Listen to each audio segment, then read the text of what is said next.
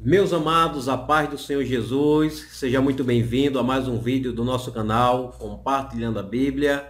Meu nome é Moisés Santos. No vídeo de hoje, nós vamos comentar a lição de jovens, os bons e maus costumes.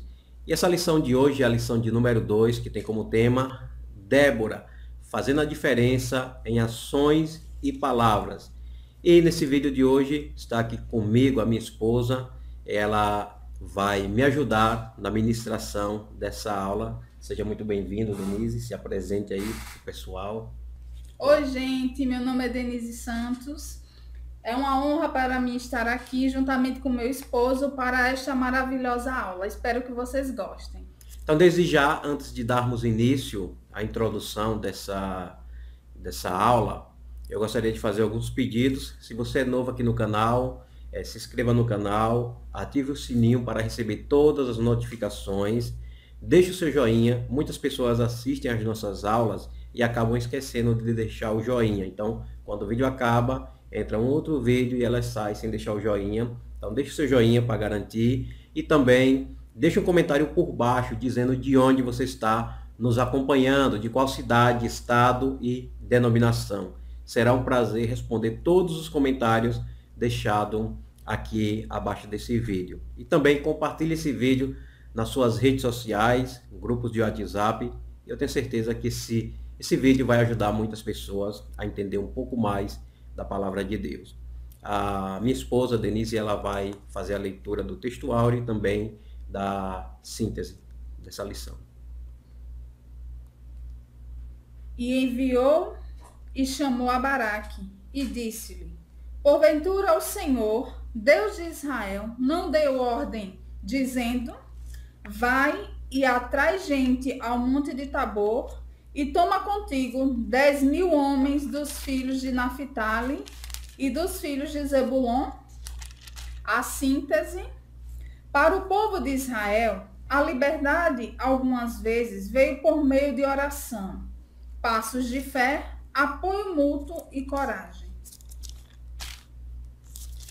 A minha esposa ela vai ler a introdução e vamos dar início à ministração da aula. O texto bíblico se encontra em Juízes, capítulo 4, do versículo 4 ao 9. Vamos lá para a introdução. Nessa lição, estudaremos os acontecimentos narrados em Juízes 4, tendo como protagonistas a juíza e profetisa Débora e um homem chamado Baraque. Em seu tempo, eles presenciaram a opressão cananita e foram desafiados a obedecer a Deus e libertarem Israel. É uma história que trata de fé, dúvida, limitações, companheirismo e vitória. Lembremos-nos de que tais fatos não se distanciam do nosso cotidiano pois somos constantemente desafiados a obedecer a Deus, ajudando uns aos outros.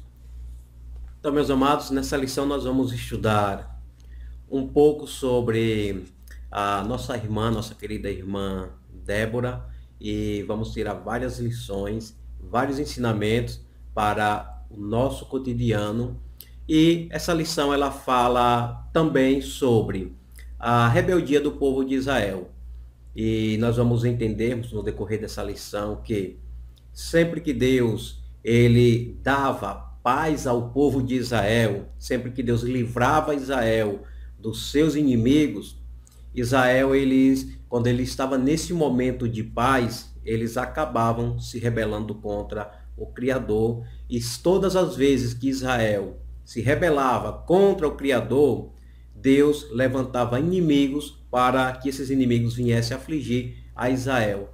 Não somente com o intuito, com o propósito de fazer com que os inimigos triunfassem sobre Israel. Não era somente para puni-los, mas era uma forma de Deus fazer com que eles reconhecessem e voltassem aos caminhos do Senhor. Então, por isso que Deus sempre estava permitindo que os seus adversários se levantassem para afligi-los, para que eles reconhecesse que quando eles estavam distante de Deus, eles estavam vulneráveis. Então eles retornavam e todas as vezes que isso acontecia, que era que Deus fazia? Deus levantava alguém, um líder, um libertador, é, e Deus levantou vários homens, mas nesse período agora, nós vamos falar sobre uma mulher que foi usada por Deus para assumir este papel de libertadora do povo de Israel. Então, é exatamente sobre isso que nós vamos estudar. A rebeldia do povo de Israel e a ousadia dessa mulher que Deus utilizou-se dela para resgatar o povo de Israel e trazer paz para aquela, aquela nação rebelde. Vamos fazer agora a leitura do primeiro tópico. Israel e a velha rebeldia em uma nova terra. Subtópico: Israel na terra prometida. O livro dos Juízes é procedido de um contexto histórico.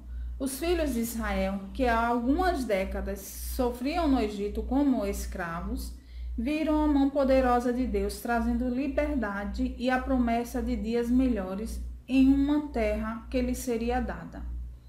Receberam de Deus cidades que não construíram, moravam em casas cheias de bens, bebiam água de poços que não cavaram e usufruíram de plantações que sequer tinham semeado. Deus lhes daria tudo, com a observação de que não poderia se esquecer, não poderiam se esquecer dele, do Senhor que os tirou da terra do Egito. Está lá escrito em Deuteronômio 6, capítulo 6, versículo 10 ao 15.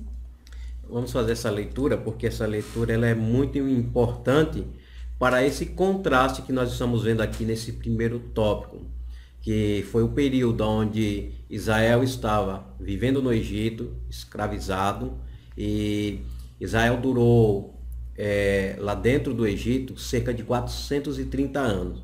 E diante de todo o sofrimento que Israel começou a enfrentar com faraó e os egípcios, então eles clamaram ao Senhor, Deus ouviu esse clamor e através de Moisés, seu irmão Arão, deu esse livramento e fez grandes promessas de é, introduzir aquele povo em uma terra que manava leite e mel. Mas eu quero abrir um parêntese para deixar claro que, embora Israel tenha vivido cerca de 430 anos lá no Egito, não significa que durante esses 430 anos foram total de sofrimento, até mesmo porque quando Jacó é, entra lá no Egito com toda a sua família, José, filho de Jacó, ele era governador.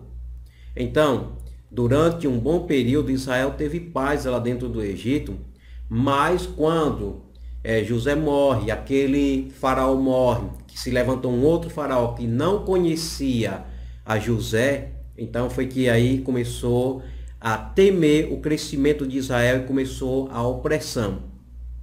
E aqui essa leitura que nós vamos fazer, que está no livro de Deuteronômio, no capítulo de número 6, versículo 10 em diante, vai mostrar as promessas que Deus tinha feito é, para o povo de Israel.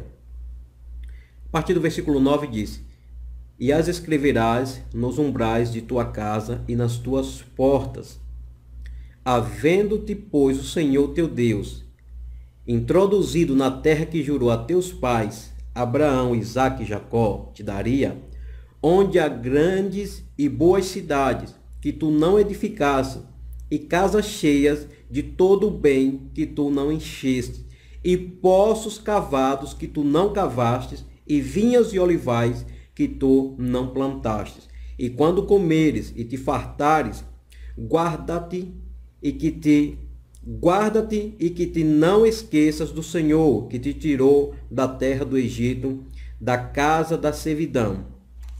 Então nós podemos ver aqui, é, é Denise, que Deus entregou tudo de mão beijada.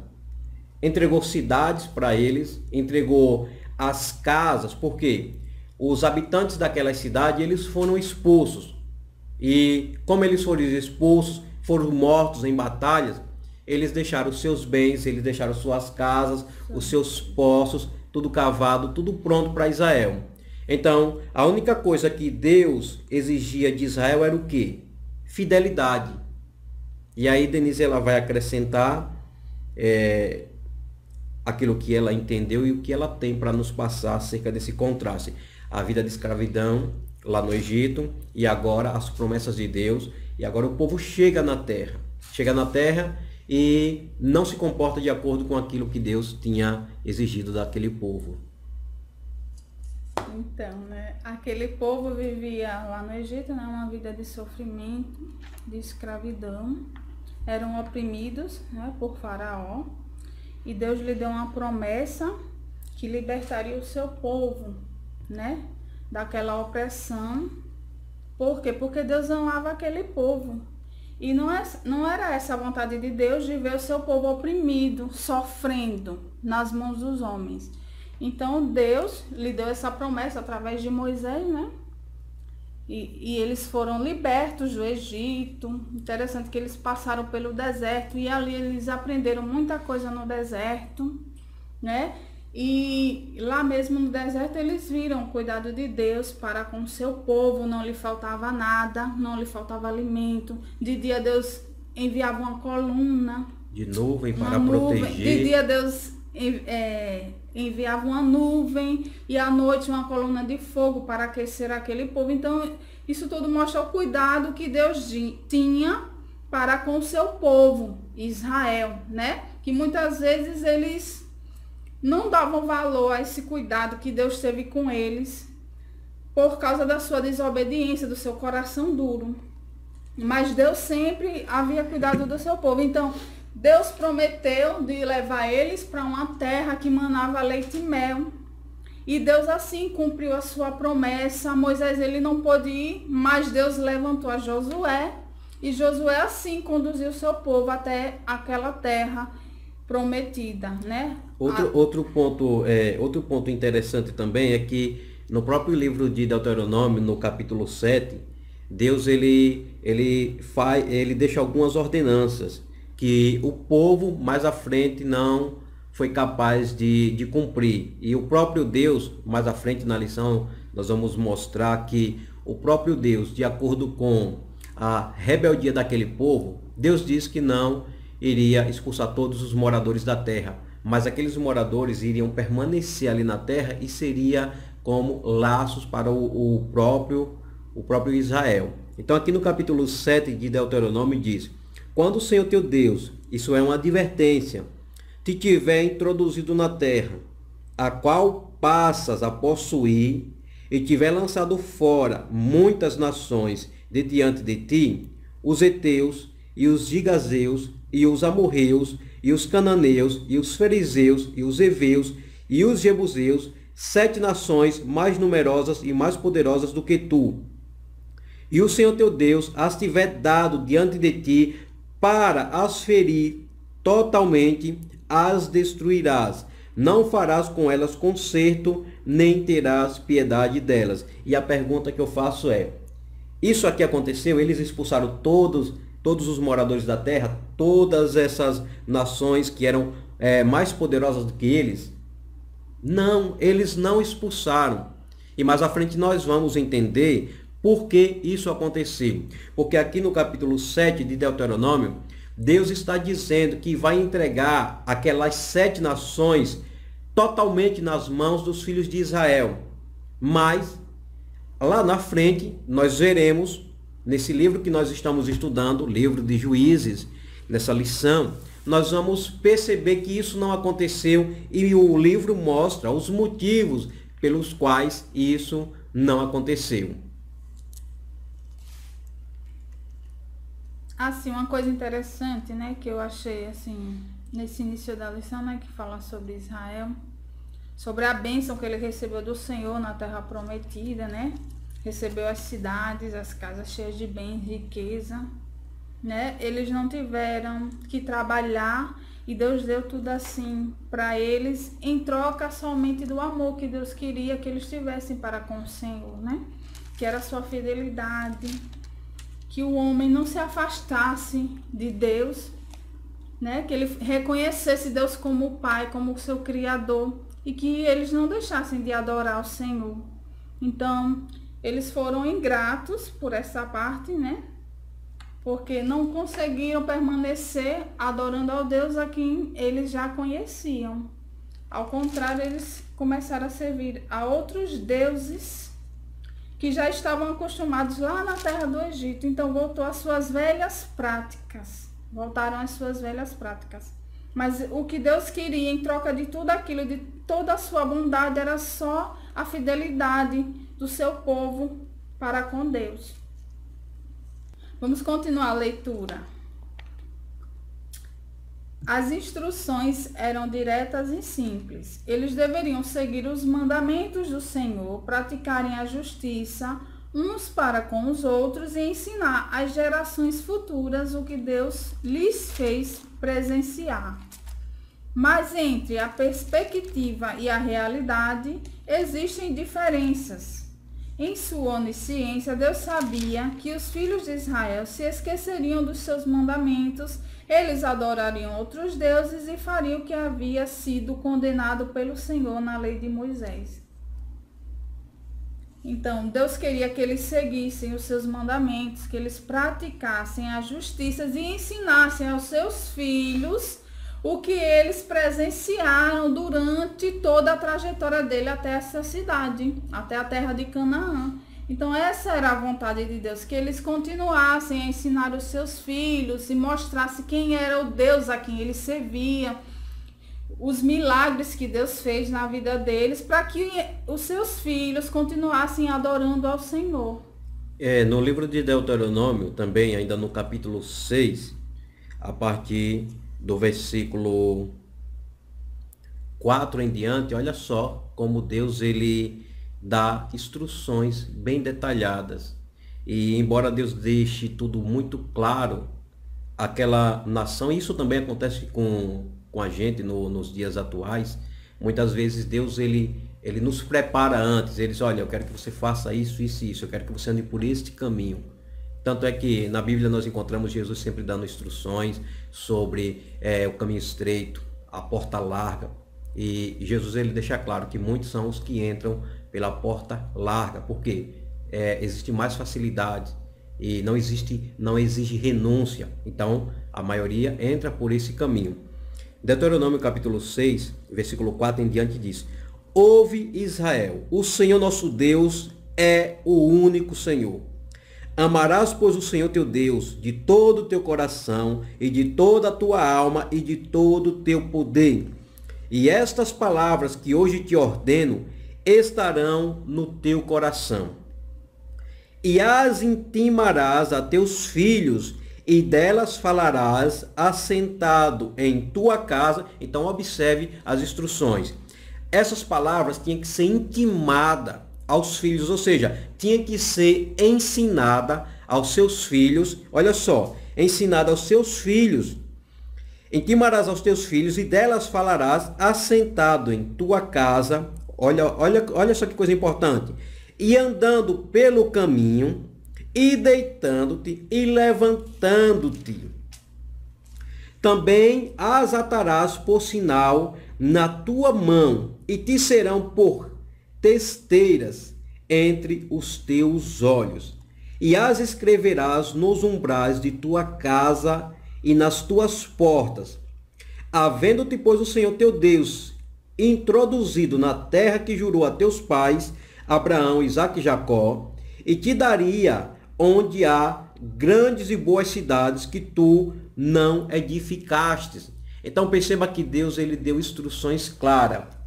E mais uma vez eu pergunto, eles ensinaram aos seus filhos aquela nova geração que entra na terra de Canaã, porque essa geração que Deus falou, essa geração pereceu no deserto. Moisés não entrou na terra prometida, mas essa geração rebelde também não entraram. Dessa geração que saiu do Egito, apenas duas pessoas entraram na terra: Josué e Caleb. Somente os dois entraram na terra. Mas a nova geração que nasceu ali no deserto, essa geração ela entra na terra. E essa geração tinha essa missão de também instruir os seus filhos, de dar aos seus filhos todas as instruções necessárias de, de, de tudo que Deus tinha feito de tudo que Deus tinha feito. E nós vamos ver daqui a pouquinho que até mesmo na passagem do Jordão, Deus manda tirar do meio do Jordão doze pedras, representando cada uma das tribos de Israel. E quando os filhos perguntassem que pedras são essas, então os seus pais iriam dar testemunho dos milagres que Deus fez, como tirou do Egito, como abriu o mar vermelho para eles passarem, os milagres que fez no deserto, como Deus abriu o Jordão para eles passarem, e aquelas doze pedras era testemunho do milagre que Deus fez quando abriu o Jordão para eles passarem a pé enxuto. E nós vamos ver daqui a pouquinho que eles se esqueceram do Senhor. E se levanta uma nova geração que não conhece ao Senhor. E aí de quem é a culpa? De quem é a culpa? Dos pais que não instruíram os seus filhos. Vamos fazer uma aplicação, trazer para os dias atuais? Hoje em dia nós vemos o quê? Muitos pais mimando demais os filhos, deixando os filhos fazerem o que querem. É, são filhos que muitas vezes colocam os pais na parede. Se o senhor não me dá um, um iPhone, é, eu vou fazer isso, eu vou fazer aquilo outro Ameaça. Ameaça os pais. E muitas pessoas fazem isso até com Deus. Se, se o Senhor é Deus, o Senhor é obrigado a me dar.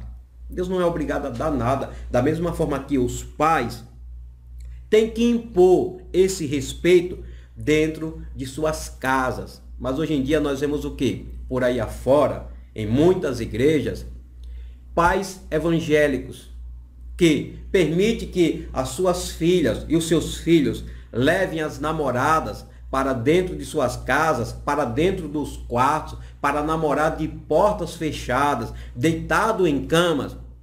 Então, isso é algo que demonstra o quê? Que esses pais estão praticando os mesmos erros que Israel cometeu lá no passado. Não está instruindo seus filhos através da palavra.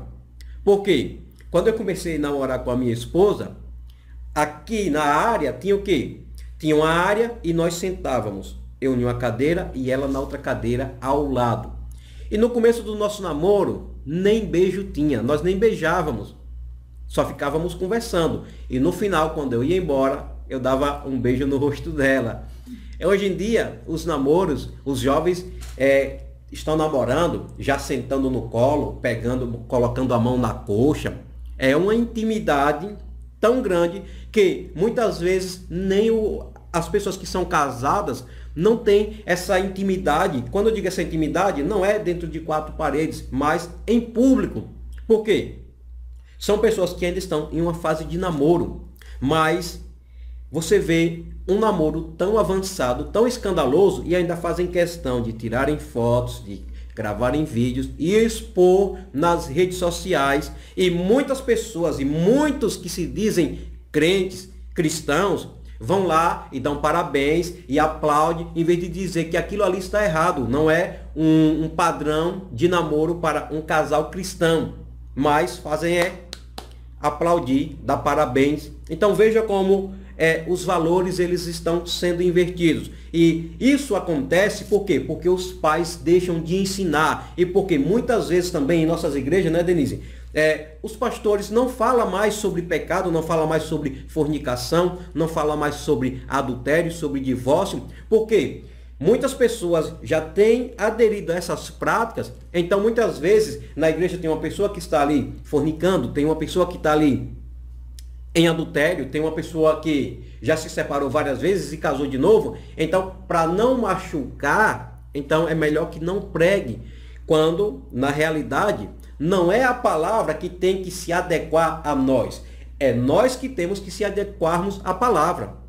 Então, nós vemos aqui o que? Israel recebendo instruções específicas e claras. Era uma ordenança de Deus. Ordem. Era uma ordem para ele instruir seus filhos. Ensinem. Aí se não gostar, não tem problema, é a palavra de Deus. Tem que continuar ensinando. Não é dentro da sua casa você se adequar aos gostos do seu filho. Não. Seu filho tem que andar de acordo com os seus gostos e os seus gostos têm que estar de acordo com a palavra de Deus. É dessa forma. Muitos pais hoje em dia é, esperam que a igreja ensine. Exatamente. E não ensinam em casa a seus filhos. É isso que está acontecendo. Vamos adiante.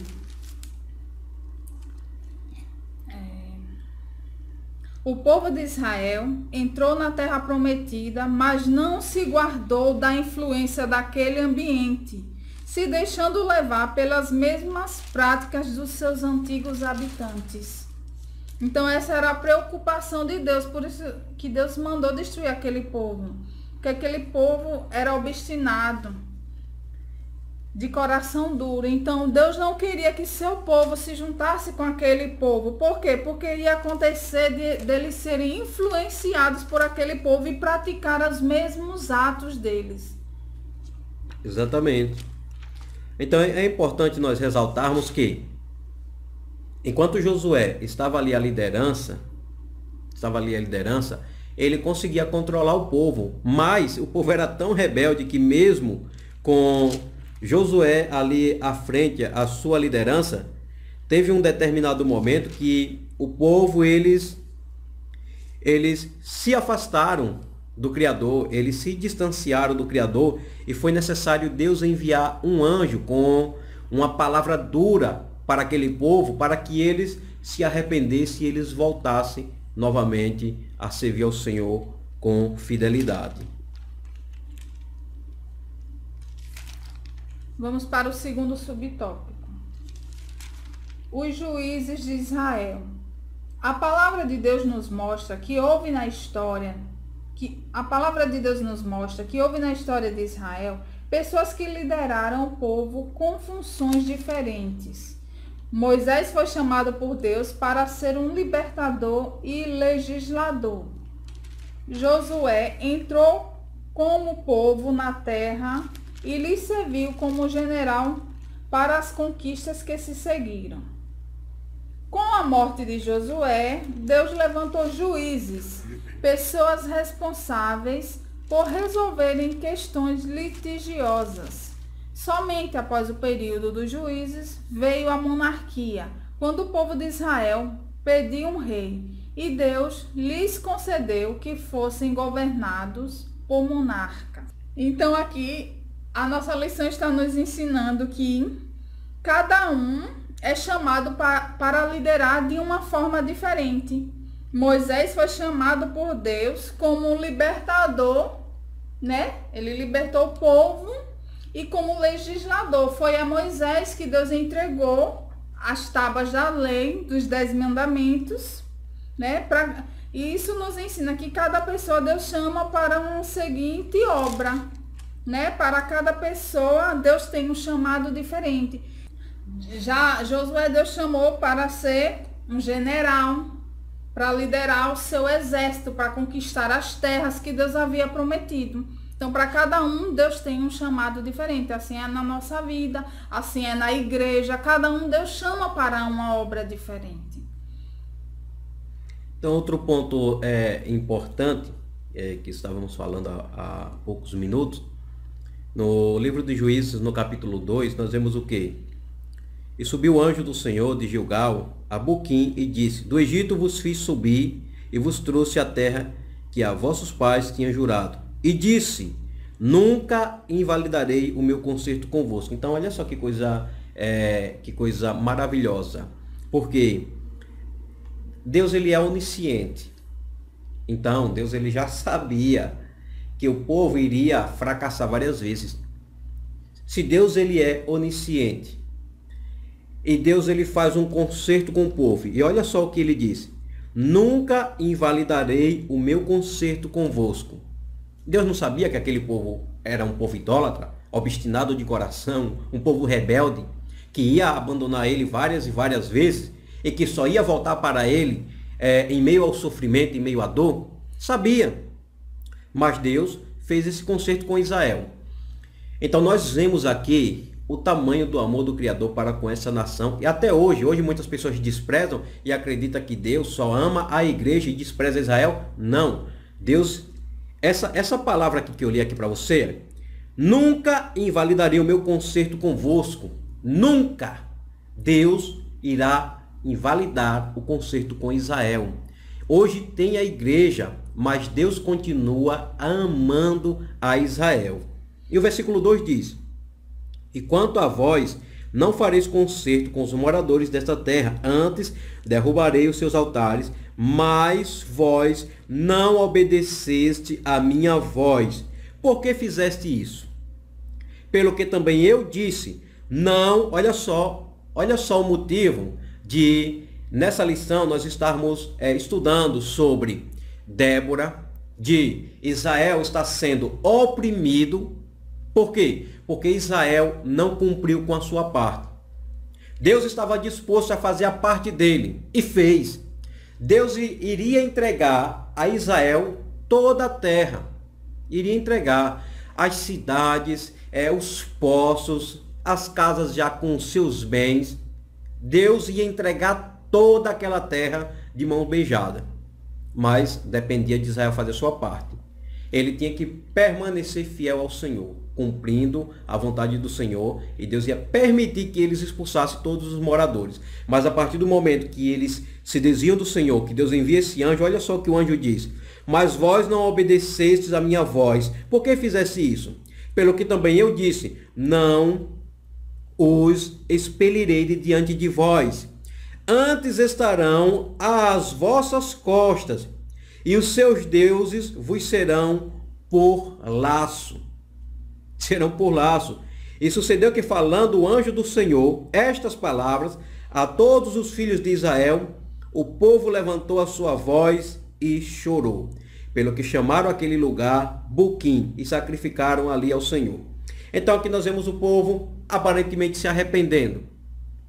E a Bíblia diz que aqueles que confessam e deixam alcançam misericórdia. O povo se arrepende, Deus vai, tira a sua mão. Mas o povo, novamente, após a morte de Josué, olha só o que aconteceu. Versículo 7. E serviu o povo ao Senhor todos os dias de Josué e todos os dias dos anciãos que prolongaram os seus dias depois de Josué.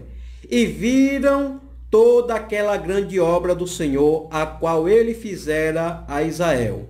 Faleceu, porém, Josué, filho de Num, servo do Senhor, da idade de cento e dez anos, e sepultaram-no no termo da sua herdade, em Timinat Eres, no monte de Efraim, para o norte de Monte Gaás.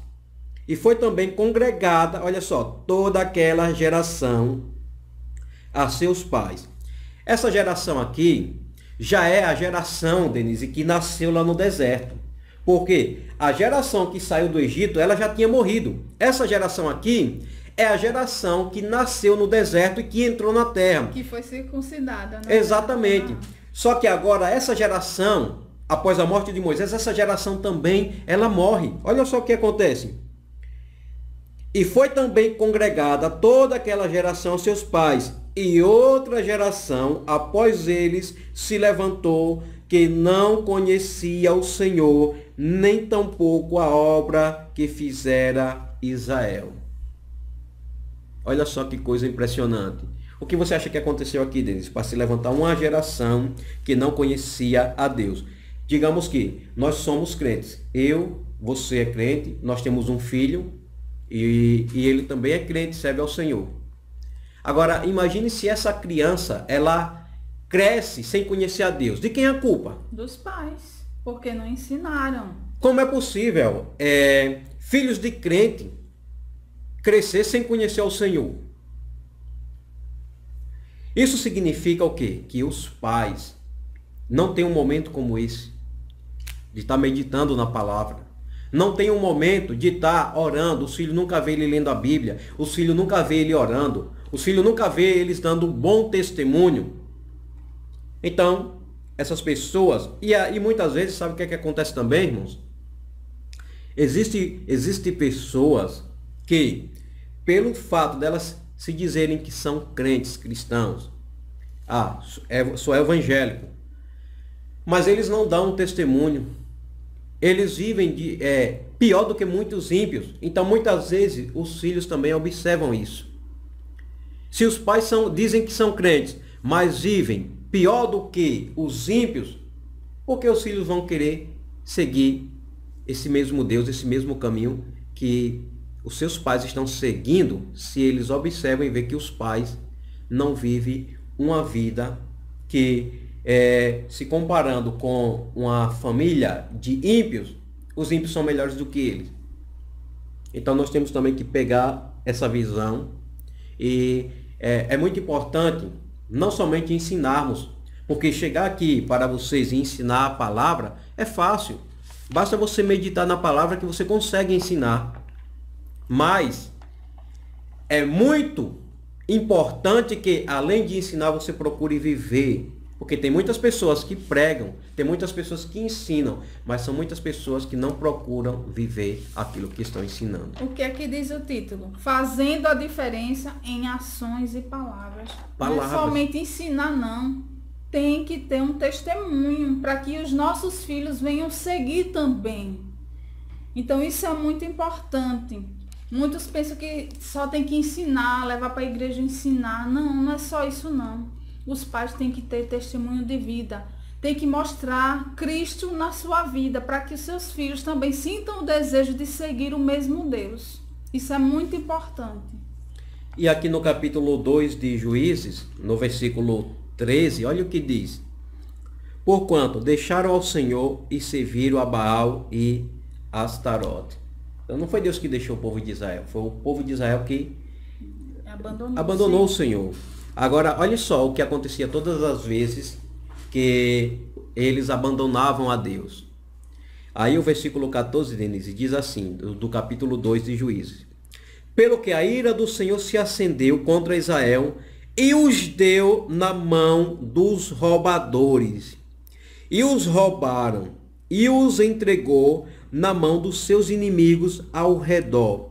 E não puderam mais estar em pé diante dos seus inimigos por onde quer que saíam, a mão do Senhor era contra eles para mal.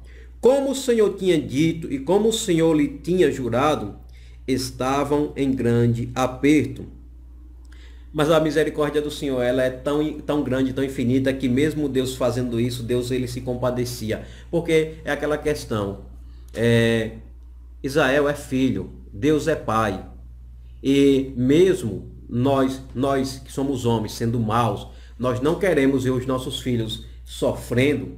Quantas, quantas mães ensinam seus filhos o caminho certo que devem andar? É, são pais de famílias honestos, trabalhadores, mas os filhos vai por outro caminho e acaba entrando no mundo do crime, no, no mundo do tráfico, das drogas e acabam cometendo erros e indo parar em um presídio e, a, e os seus pais agora mesmo sabendo que eles erraram, que eles estão lá pagando pelo crime que cometeram, eles se compadecem, eles vão visitar, eles levam feira. Ela, ela é testemunha, ela conhece é, bastante da minha história, até mesmo porque nós estamos casados há quase 17 anos. Agora em dezembro vamos completar é, 17 anos de casados. Então, é, ela, ela conhece a minha história e ela sabe que eu e a minha mãe sempre nós íamos visitar o, os meus irmãos na cadeia, meu, meu irmão mais velho, ele, ele cumpriu três, três, três vezes em várias cadeias. E nós íamos daqui da, da cidade de Aracaju para uma cidade chamada de Tobias Barreto e era muito longe. Nós acordávamos 4 horas da manhã e pegávamos um ônibus e ia para um determinado interior, chegava lá, pegava outro ônibus, pegava Topique. Quando chegava nesse interior, nós é, tínhamos que alugar um, um carro, um, como se fosse um táxi, porque ônibus não ia para aquele presídio, porque ele era bem isolado da cidade, bem no meio do, do mato mesmo. Então, nós tínhamos esse sacrifício. Minha mãe trabalhava o mês todo para juntar dinheiro, para a gente fazer essa viagem que era muito caro e a gente ia com as bolsas de, de compra de mercadoria para levar para ele. Uma vez, a, a, quando ela ainda era minha noiva, ela foi juntamente comigo, com a minha mãe, é, acho que minha sobrinha também, fomos lá visitar ele. Então os pais, eles têm esse, esse amor, esse cuidado e eles sofrem quando vê os seus filhos sofrendo. Então por isso que, olha o que diz o versículo no versículo 14 diz que a ira do Senhor se acendia e Deus é, fazia com que os roubadores, outras pessoas que habitavam ali na terra, saqueassem Israel, oprimissem Israel. Mas o mesmo Deus que permitia que os seus inimigos se levantassem para afligir Israel, no versículo 16, olha só o que é que diz. E levantou o Senhor juízes que os livraram da mão dos que os roubaram.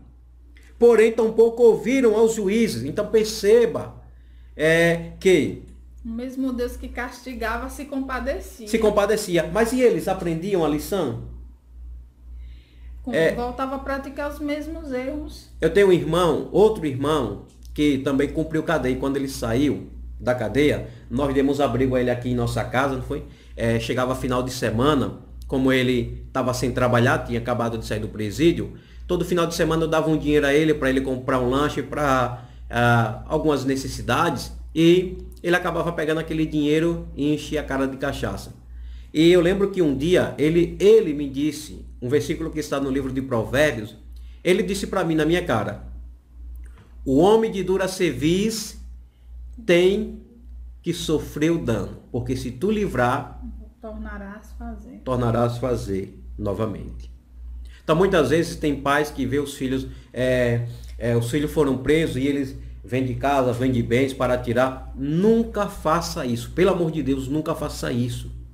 Vá visitar porque é filho, é filha, é um parente. Você não, não é que tem que desprezar, você tem que ir. Mas nunca venda o que é teu para livrar ele. Por quê? Porque todos os pais e mães que sempre fizeram isso ficaram no prejuízo e depois eles tornaram para lá. Veja o exemplo de meu irmão, três cadeias. Minha mãe adoeceu, minha mãe morreu com cerca de 53 anos, muito nova. Ela sofreu três AVCs. No terceiro, ela, sobre, ela permaneceu viva somente por duas semanas. E a vida da minha mãe, a maior parte da vida dela, foi trabalhando para ir levar feiras na cadeia para os filhos.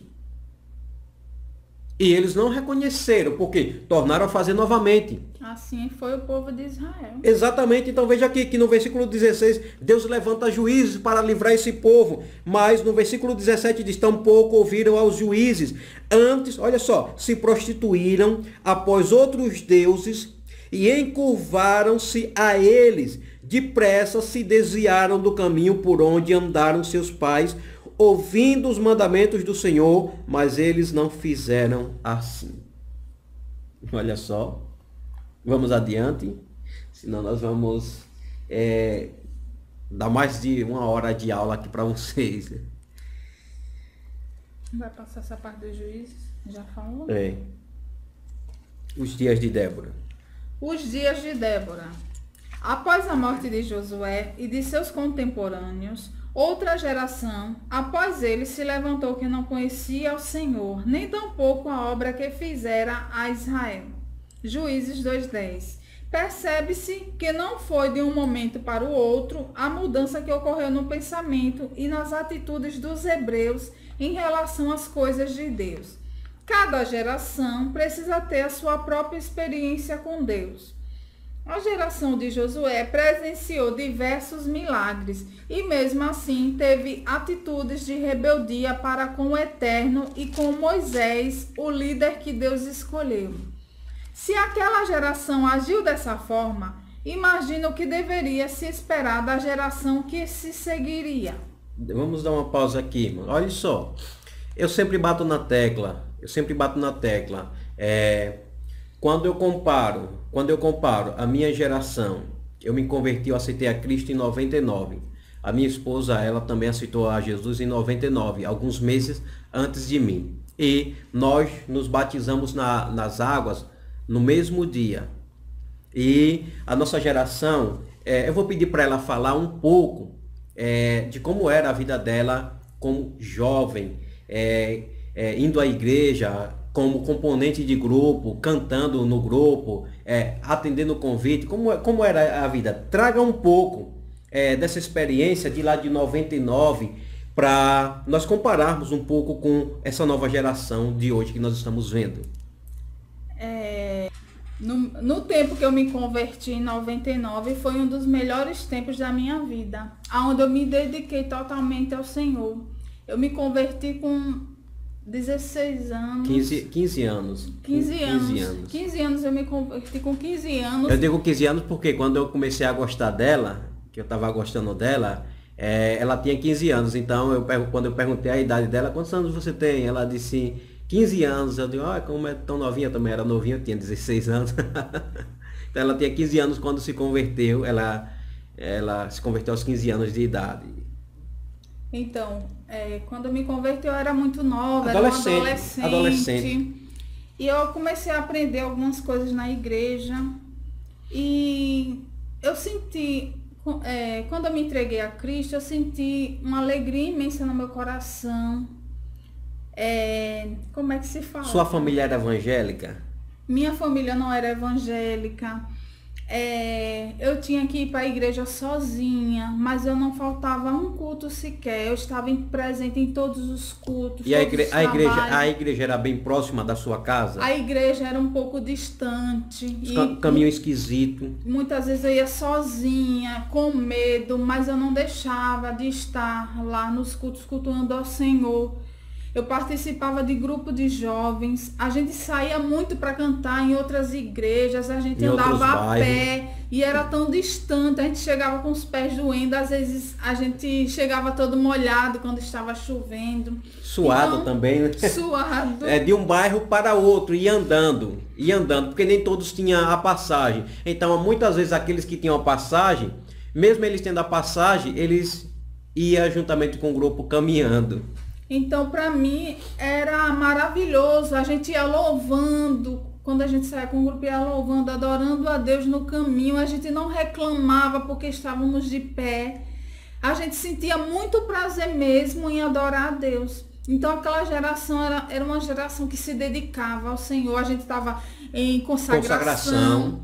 Escola dominical. Escola dominical. Ia para evangelismo. Cultos de doutrina. E nos cultos, só no domingo a gente participava quatro vezes, a gente ia quatro vezes. Às vezes ia para consagração, ficava para a escola dominical, à tarde tinha evangelismo, à noite estava nos cultos. Então era, era um tempo muito bom. E era um tempo que a igreja orava muito. A igreja orava demais. E nós sentíamos Deus no, naquele ambiente muito diferente de hoje. A gente sente Deus sim, mas está totalmente diferente. Não é mais a mesma coisa. Mudou. As pessoas perderam o temor a Deus, começaram a praticar coisas que não agradam a Deus. As pessoas estão andando como se Hoje, como se fosse tudo pra, normal. praticamente não existe mais é, aquela diferença né, entre, entre quem serve a Deus e quem não serve. Hoje em dia, Muitas vezes você encontra uma pessoa dentro da igreja e ela está bem vestida, mas quando você encontra essa mesma pessoa fora da igreja, você fica de boca aberta. É aquela, era aquela irmã mesmo que estava cantando? É aquele irmão mesmo que estava pregando? Porque as pessoas hoje têm dois guarda-roupa, né? Um guarda-roupa é, com roupas de crente para ir para a igreja, mas para ir para o shopping ou para ir para outro lugar é uma roupa completamente diferente. E eu, da forma como eu, eu me converti lá em 99, os costumes que eu aprendi na Assembleia de Deus, até hoje eu conservo. Até hoje eu conservo. A minha esposa a mesma coisa, o mesmo costume. Aí eu pergunto, será que é, é tão difícil assim que essas pessoas não conseguem se vestir de uma forma decente? Será que precisa se vestir de uma forma vulgar para ficar elegante? Não, não precisa. Você pode se vestir de forma elegante sem ser vulgar. Mas a questão é que muitos não querem. O que é está acontecendo? O povo de Deus está imitando. se influenciando pelas, pelo povo do mundo, imitando as pessoas do mundo, né? Estão sendo influenciadas, que, que deveria ser ao contrário, né? A igreja, o povo deveria influenciar as pessoas do mundo. Então, a, a gente, nós cristãos, é que estamos sendo influenciados pelas coisas do mundo. Então foi o que aconteceu com aquele povo lá na terra de Canaã. Começaram a ser influenciados por aqueles povos, pelas práticas errôneas. É, outro ponto importante. É, nós, nós reconhecemos que hoje, nos dias de hoje, existe mais, como é que eu posso dizer? mais coisas atrativas que foram criadas através da tecnologia. Por exemplo, o meu primeiro celular eu só vim ter depois de mais de três anos de casado. Nós não tínhamos condições. Nós não tínhamos condições de ter um celular.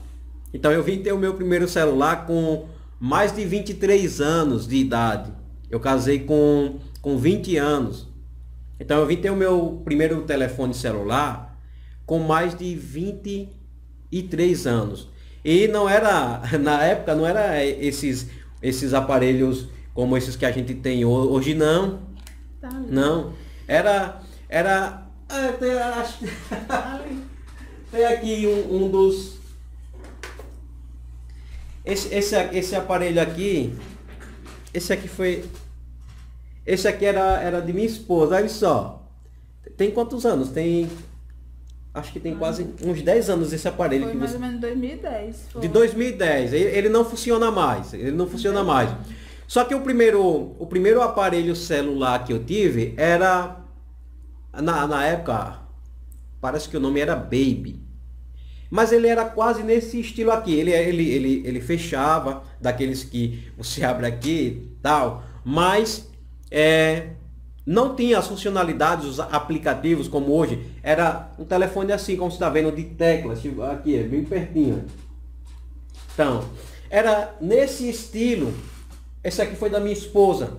Então, olha só, nós não tínhamos acesso a essa tecnologia, e mas nós tínhamos o que nós tínhamos acesso a, a Deus, nós tínhamos acesso à oração, nós tínhamos acesso à meditação na palavra. Eu passava a maior parte do meu tempo é, meditando nas escrituras e isso fez um total diferencial na minha vida, na vida da minha esposa, essa vida de dedicação que nós levávamos na presença do Senhor e até hoje nós estamos aqui. Mas assim como eu fiz questão de fazer um contraste entre aquela geração de Israel que presenciou os milagres e essa nova geração que se levantou, que não conhecia o Senhor, essa mesma geração também de lá é, que se converteu em 99, é, aqui era uma área 8, tinham oito congregações, um pastor é, dirigia oito congregações e tínhamos coordenadores locais em cada uma dessas congregações, tínhamos dirigente e tínhamos um coordenador geral de grupo de jovens, que todo mês tínhamos um ensaio geral, né? Todos os jovens das oito igrejas se reuniam na igreja que ela congregava, que era o centro. Então, todo mês, uma vez por mês, nós íamos lá para aquele ensaio geral, ensaiávamos e os jovens se viam. Só que, olha só, muitos daqueles jovens também, muitos hoje estão afastados, né? Por exemplo, tem jovens que ajudaram a me ganhar para Jesus. Eles estavam presentes e eles foram pessoas que me incentivaram. Morava na mesma rua que eu e eles iam na minha casa, me chamava para ir para a igreja. Hoje, esses, jo esses jovens eles estão afastados de Cristo. Estão afastados. Então, olha só. E essa nova geração que se levantou hoje é uma geração, e quando eu falo isso, irmãos, eu não quero generalizar, porque eu sei que na, na minha geração de lá de, de 99 também tinha pessoas que davam trabalho, né? Tinha pessoas que davam trabalho na, na igreja que ela congregava, tinha três jovens, era um trio, elas só andavam entre elas e eram pessoas que não davam um bom testemunho. Todo mundo é, das outras igrejas já sabia que elas eram a gente chamava de carnudas, era as pessoas que não tinham compromisso com a palavra, com a oração, mas só que eram desobedientes, só queriam estar namorando, paquerando, muitas vezes ia para a igreja, mas ficava ali de olho nos jovens, tal, aquela coisa. Então, em todas as gerações sempre sempre sempre teve pessoas que gostavam de servir a Deus e pessoas que iam para a igreja como meros visitantes. Então, quando eu falo essa nova geração, eu não quero generalizar porque eu sei que nessa geração existem pessoas que têm compromisso com a palavra, têm compromisso com, com Deus, têm compromisso com a oração.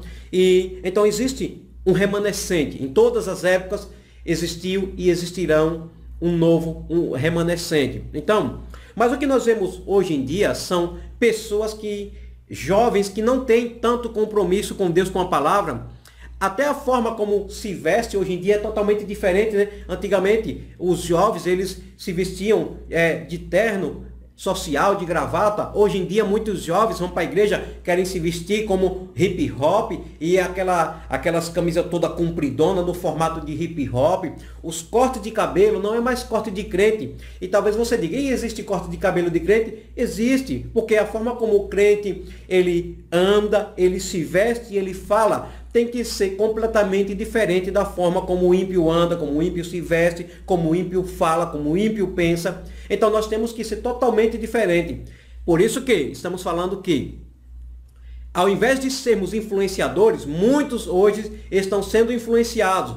Antigamente as pessoas olhavam e quando via um jovem, uma jovem vestida com a saia toda composta, um jovem todo ali de calça, de terno, achava bonito, achava lindo aquilo ali e muitas vezes queria até copiar, queria se vestir daquele jeito, admirava. Mas hoje em dia, os jovens na igreja, eles olham para os ímpios. Se o ímpio usa o cabelo rapado aqui do lado, com um corte aqui, ele quer fazer a mesma coisa. Se o ímpio pinta o cabelo de louro aqui em cima, ou seja lá onde for, eles querem fazer também exatamente a mesma coisa. Então, veja que, ao invés de sermos influenciadores, estamos sendo influenciados. E um erro grotesco é que muitos líderes vê os jovens entrando na igreja, jovens que já são crentes, que já conhecem a palavra e começam a adotar algumas práticas mundanas, e aquele líder com medo de perder, não usa o cajado e a vara que Deus colocou em suas mãos. E sabe o que, é que acontece? Uma ovelha rebelde vai fazer com que as outras ovelhas se tornem rebeldes, porque vai seguir os seus exemplos. A ovelha rebelde ela se afasta do rebanho e uma parte do rebanho vai atrás. Outro exemplo é quando você pega uma caixa de maçã ou qualquer outra fruta e você pega uma maçã podre e você deixa ali no meio das outras maçãs sadias, aquela maçã podre ela vai apodrecer todas as outras maçãs daquele cesto. Então você tem que usar a palavra para corrigir, tem que punir se for necessário, porque não é a igreja que tem que se adequar a um gato pingado, não. É quem está chegando tem que se adaptar às normas da igreja. E aí tem muitas pessoas que dizem, costume não leva ninguém para o céu. Talvez não, possa até não levar para o céu, mas vai levar muita gente para onde? O inferno. inferno. Entendeu, irmãos? Então nós temos que sabermos que temos que fazer a diferença. E Deus sempre levanta alguém para guiar o povo no caminho que deve andar. E eu espero que você seja essa pessoa, que eu continue sendo essa pessoa. Como assim Deus levantou a Débora, Deus levantou a mim, Deus levantou a ela, Deus levantou a você. Então nunca deixe de ensinar a verdade, porque tem pessoas ali que estão fazendo as coisas erradas. Essa pessoa tem que se adequar à palavra. E não é você, é, ah não, tem que saber falar de uma forma que ela não entenda que isso é o que ela está fazendo. Não. Jesus nunca teve medo de ensinar a verdade. João Batista nunca teve medo de ensinar a verdade. Então a pessoa tem que aceitar a palavra se quiser ir para o céu. Tem que pregar da forma como a palavra ela é em sua essência. Vamos dar continuidade? Pode é, falar. Uma coisa que eu sempre falo para os jovens na minha igreja, né? Que eles devem se afastar daquilo que os afasta de Deus. Exato. Né? É, vamos voltar para a lição. Segundo tópico, uma mulher com dons e valores. Primeiro subtópico, Débora a profetiza. A palavra de Deus descreve Débora como uma mulher que profetiza e julgava Israel. Mateu Henry comenta que o nome Lapidote, Lapidote do esposo de Débora significa lâmpada e que os rabinos e que os rabinos ensinam que Débora fabricava pavios para as lâmpadas do tabernáculo. O texto não entra em detalhes a respeito do ministério de Débora, como alguém que trazia os oráculos de Deus para os israelitas. Vamos lá.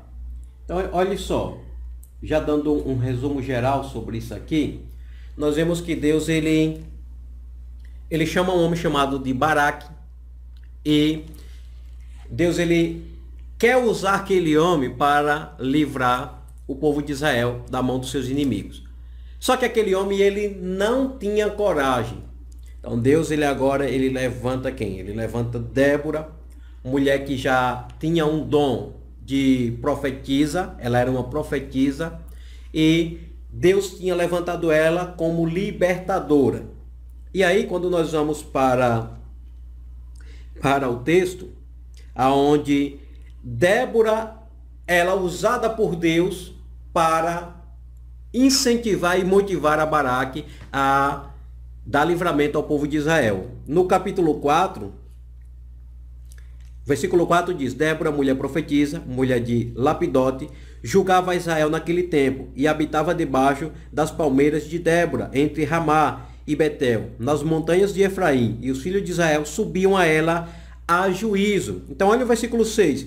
E enviou e chamou a Baraque, filho de Abinoão, de Quedes, de Naftali e disse-lhe: Porventura o Senhor, Deus de Israel, não deu ordem dizendo: Vai e atrai gente ao monte de Tabor e toma contigo dez mil homens dos filhos de Naftali e dos filhos de Zebulon. Então, olha só, uma coisa que eu, que eu pego aqui é que a forma como Débora fala, ela diz: Porventura, porventura, o Senhor Deus de Israel não deu ordem dizendo, vai atrai gente ao monte de Tabor. Deus já tinha falado para Baraque, mas ele não acreditou. Ele não acreditou. Por quê? Porque há 20 anos eles estavam sendo subjugados.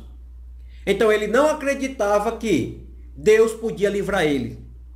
Ele não acreditava. Então Deus usa agora Débora para relembrar que se Deus disse que ele iria livrar, Deus ele iria se responsabilizar. Então olha só. E atrairei a ti para o ribeiro de Quizon a Cícera, capitão do exército de Jabim, com seus carros e com a sua multidão, e o darei na tua mão. Outro ponto que eu chamo a atenção é que, pelo fato deles serem rebeldes, aqui você percebe que esse exército do rei Jabim, ele tinha o que? Ele tinha é, uma frota de carros e essa frota de carro fez com que esse exército e esse rei subjugasse Israel durante 20 anos. Agora, quando nós vamos aqui para o começo do livro de Juízes, no capítulo 1, no versículo 19, olha só o que acontece. E foi o Senhor com Judá e despovoou as montanhas porém não expeliu os moradores do vale, porquanto tinham carros de ferro. Então, isso aqui, esse problema que agora está afligindo ele, poderia ser evitado se eles tivessem obedecido à voz do Senhor lá atrás. Deus tinha expulsado não somente os moradores da montanha, mas também os do vale. Mas como eles foram rebeldes, Deus não permitiu que eles expulsassem os moradores dos vales porque mais à frente Deus iria usar eles para a correção dos filhos de Israel. Mas Deus sempre levanta um homem ou uma mulher que esteja ali na brecha, disposto, com o coração contrito, com o coração aberto para servir a Deus de todo o coração, para servir a Deus com fidelidade. Deus sempre vai levantar alguém capacitado para a obra certa. Então Deus sempre vai levantar alguém. E eu lembro que quando a minha esposa ela foi chamada para ser coordenadora de jovens, até hoje ela é coordenadora de jovens, ela, ela teve medo. Ela se esquivou, ela disse, ah, não estou preparada. Esse está preparada sim, porque eu conheço. Então, ela se sentia incapaz de assumir aquela responsabilidade. Então, Baraque também, é, ele não se sentia capaz de é, sair à frente naquela batalha e ganhar a guerra. Então o que foi que Baraque disse? Olha só o que foi que ele disse. No versículo 8 do capítulo 4. Então lhe disse Baraque, Se fores comigo, irei. Porém, se não fores comigo, não irei. Então, olha só. A confiança de Baraque estava mais em Débora do que? Em Deus. Em Deus. Porventura era Débora que ia dar vitória aos filhos de Israel? Então, olha só. O que eu, o que eu aprendo com isso, Denise? Que muitas vezes as pessoas deixam de confiar em Deus para confiar em terceiros. Quando na realidade nós temos que colocar a nossa confiança em quem? Em Deus. Porque quem prometeu foi Deus. Débora foi apenas um instrumento, um canal. Deus falou pela boca de Débora, mas quem ia da vitória não era Débora. Então, já que ele se acovardou, olha só o que foi que ela disse. Disse ela: Certamente irei contigo, porém, não será tua a honra pelo caminho que levas. Pois a mão de uma mulher o Senhor venderá a Cícera. E Débora se levantou e partiu com Baraque para Quedes. Ou seja, em outras palavras, ela estava dizendo, olha, Baraque, Deus está te dando a oportunidade, você será honrado. Mas já que você não quer ir só, então você não terá a honra para si. A honra será minha. E não é que ela estava se exaltando, não, mas era justamente o que ia acontecer. Então Baraque convocou a Zebulon e a Naftali em Quedes e subiu com dez mil homens após si, e Débora subiu com ele. E Eber, Queneu, se tinha apartado dos queneus dos filhos de Obe, Oba, Obabe, sogro de Moisés, e tinha estendido as suas tendas até o cavalo de Zaananim, que está junto a Quedes. E o desfecho dessa história é que no versículo 15, o Senhor derrotou a Cícera e todos os seus carros e todo o seu exército a fio de espada diante de Baraque. E Cícera desceu do carro e fugiu a pé. Então olha só, era um exército poderoso que tinha é, armas sofisticadas, tinha carros de ferro poderosos. 900. 900 carros de ferro poderosos. Mas diante do Deus de Israel, aquele exército foi tirado para nada. Que o nosso Deus, ele é um Deus general de guerra. Ele ganha a guerra sem que ele precise entrar na batalha. Deus, ele é poderoso. Temos um caso em que Deus, ele envia um único anjo e ele mata cerca de 185 mil soldados assírios. Então veja o tamanho e a grandeza do nosso Deus. Aqui no finalzinho desse tópico, desse segundo tópico, assim, eu, eu vejo algo importante aqui, é, que fala que, que eles, é, o povo de Israel, clamaram ao Senhor quando estava em aperto, né? Sendo oprimido por Jabim. Então eles começaram a clamar ao Senhor. Aí aqui na lição nos diz: é triste quando uma pessoa se lembra de Deus somente nos, nos momentos de aperto e dificuldades. Hoje em dia não é assim, da mesma forma. Muitos só têm buscado a Deus quando estão nos apertos, nas dificuldades, né? Aí é que lembra do Senhor. Então isso é triste para um cristão né, uma pessoa que se diz cristão não tem uma comunhão, um relacionamento íntimo com o Senhor. Só busca Deus pelas bênçãos, é não? é uma barganha. É, é, um, é uma relação de, de troca. Se o Senhor fizer isso, eu vou te servir. Se o Senhor não fizer, então eu não vou te servir. Então, é, é uma barganha, é uma troca que muitas pessoas querem servir. Por exemplo, em algumas igrejas, tem pessoas que vai lá e são igrejas que vivem lotadas. Por quê? A promessa lá não é de salvação, não é de morar no céu. A promessa é de você prosperar, é de você enricar, de você arrumar emprego, de você é, conquistar isso e aquilo outro. Então isso é uma relação de troca, de barganha. Mas... Você só serve a Deus se Deus te der alguma coisa. Mesmo na, é, o povo de Israel buscando a Deus nesses momentos de aperto, de opressão, né? Mas mesmo assim Deus ouviu os seus filhos.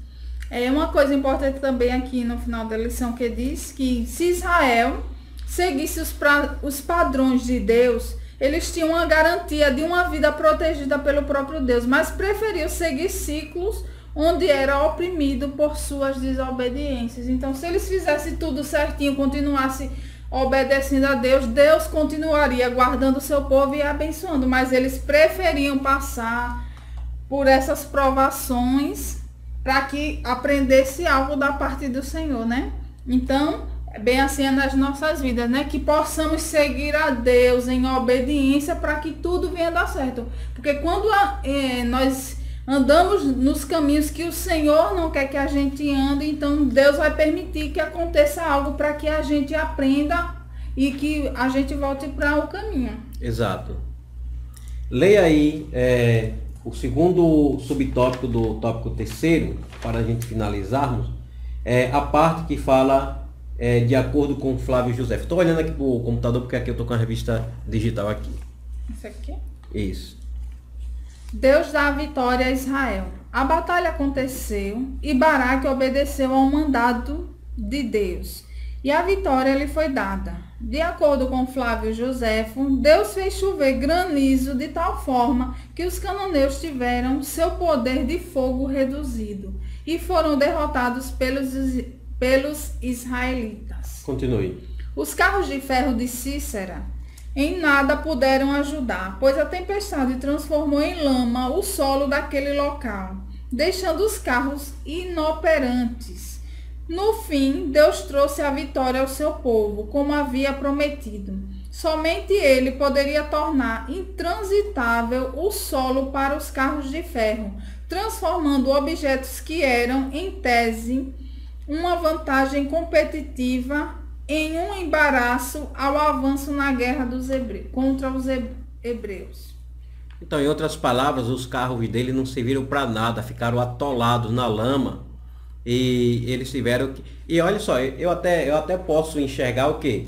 Assim que os carros começam a atolar, eu vejo muitos. Isso não está escrito, mas eu, eu posso visualizar muitos soldados descendo para empurrar os carros e se cansando ele se cansando, tentando ali.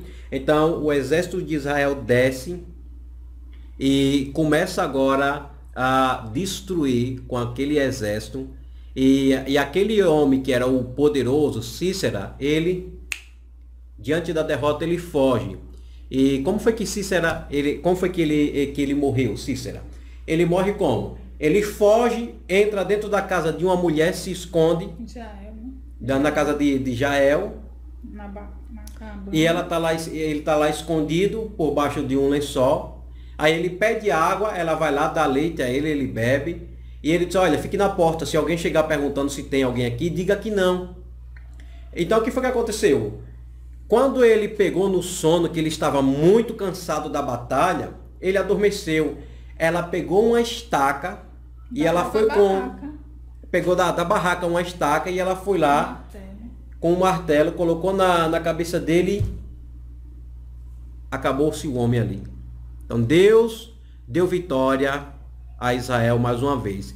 E para finalizar, o que me chama bastante atenção, Denise, é que aqui no capítulo 3 de Juízes, no versículo 30, antes dessa servidão de Israel ao rei Jobim, rei de Canaã, eles eles já tinham sido livrados por mais um libertador chamado Eude. E depois que Eude livrou ele, olha só o que aconteceu. No versículo 30, assim foi subjugado Moabe naquele dia, debaixo da mão de Israel, e a terra sossegou 80 anos. Depois dele foi Sangar, filho de Anate, que feriu 600 homens dos filisteus com uma aguilhada de bois, e também ele libertou a Israel. Porém, os filhos de Israel tornaram, capítulo 4, tornaram a fazer o que parecia mal aos olhos do Senhor, depois de falecer Eude. E vendeu, olha só, e vendeu o Senhor a mão de Jabim, rei de Canaã, que reinava em Azor.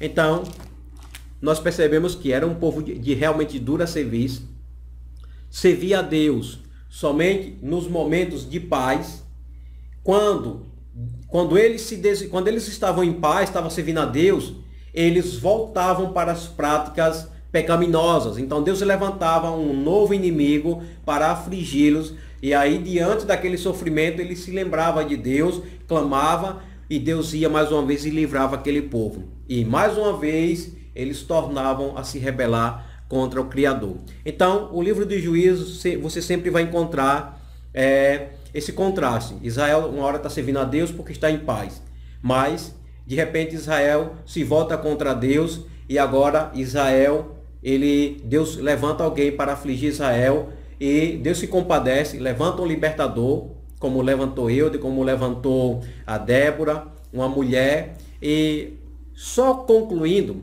aí quando nós olhamos para um relato como esse, ela julgava, ela fazia o quê? O trabalho de um juiz. O que, que é que um juiz faz? Julga as causas. Então as pessoas iam, levavam suas causas igual aquelas duas mulheres é, prostitutas que tiveram filhos na mesma noite e que quando elas estavam dormindo, uma foi displicente, se virou e matou o seu filho, mas acordou de madrugada, pegou o filho morto, colocou no seio da outra e pegou o filho vivo e ficou com ela. E levou aquela causa para Salomão e Salomão com sabedoria julgou. Então era esse o papel que é, Débora ela fazia. Julgava as causas ali, os conflitos que tinha.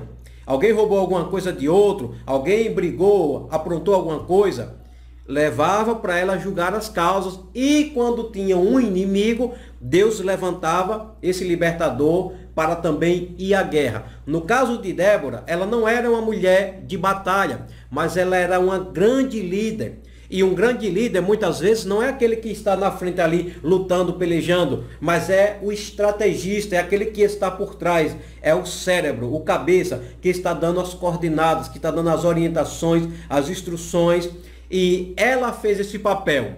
Mas ela não ficou lá, ela foi para a guerra e ela deu as orientações de acordo com a mensagem que Deus tinha lhe passado. Então, um bom líder é aquele que sabe também analisar a situação e para cada setor levantar a pessoa certa, sendo direcionado por Deus. Porque quando você é direcionado por Deus, você sempre vai tomar a melhor decisão, sempre vai fazer a melhor escolha. E quando Deus está no negócio, a obra cresce e prospera, porque Deus ele se encarrega de dar o crescimento.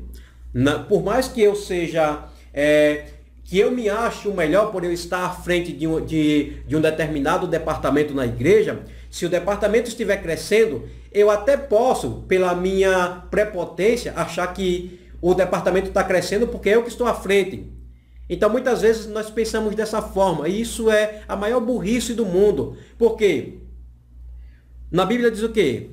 Um planta, o outro rega, mas é quem que dá o crescimento? É Deus. Deus quem dá o crescimento. E eu encerro a minha participação aqui e Denise ela também é, ela pode fazer uma conclusão, um agradecimento aí.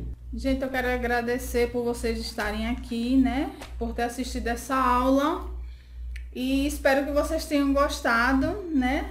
E em breve estaremos em uma nova aula. Então é um isso. Um beijo até a próxima. Então é isso. Se você é novo aqui no canal, se inscreva no canal, deixe o seu joinha, deixe o seu comentário dizendo de onde você está nos acompanhando. Cidade, estado e denominação. Compartilhe esse vídeo nas suas redes sociais e, se Deus permitir, estaremos dando continuidade, né, trazendo a, é, é, as aulas as pré-aulas da, da, da, revista dos jovens e aqui temos também ah, as lições da, da classe de adultos. Já temos a lição número 2 aqui publicada no canal, você pode assistir também. Um beijo no coração e até a próxima semana. Deus abençoe.